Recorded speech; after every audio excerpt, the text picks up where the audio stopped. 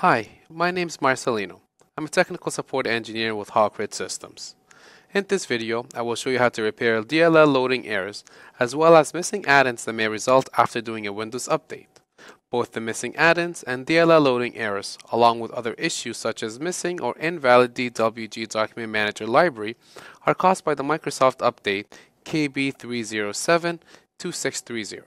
This update was published on July 14, 2015. This update causes SOLIDWORKS to become unstable.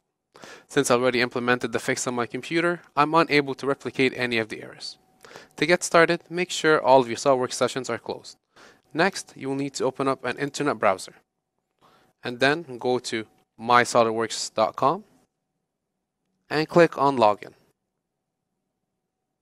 You will need to log in using your customer portal credentials. Once you're in, click on the search bar and type S-069491 and click on search. Click on the first solution and click on the title. You will be directed to the customer portal. Scroll to the bottom and download these two files. To save time, I already downloaded the files. You will notice the .txt extension. If you don't see the .txt extension, click on Alt click on Tools, Folder Options, and click on the View tab. Make sure Hide Extension for known file types is unchecked. Then we're going to need to remove the .txt extension. Right-click, rename, and remove the .txt extension.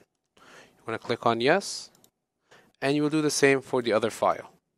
Rename, and remove the .txt extension. Click on Yes again. And now we're going to run before repair tool. Double click, click on Run, and click on Yes, and click on OK. Then we'll need to repair the installation. Click on Start, Control Panel, Uninstall a program, and scroll down to your SOLIDWORKS installation.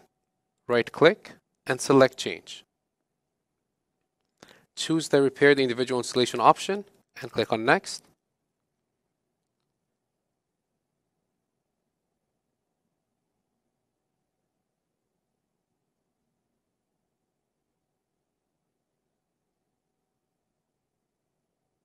And make sure you have all of the products selected. Click on Repair. To save time, I will now go through the repair process. Once the repair is done, come back to the folder and run the after repair. Double click, click on Run, click on Yes, and click on OK. And there you have it. You just implemented the KB fix. Thank you for watching this Hawk Ridge System screencast. I hope you enjoyed it.